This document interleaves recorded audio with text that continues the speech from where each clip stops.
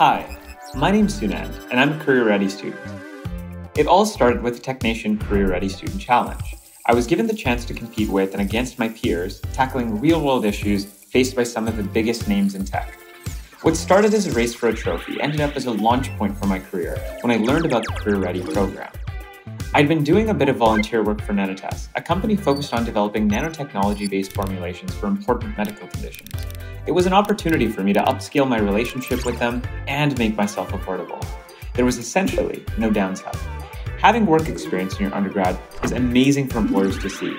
It's given me a broader perspective on what to expect while working in the industry. I graduated in May, and I'm already working in my field.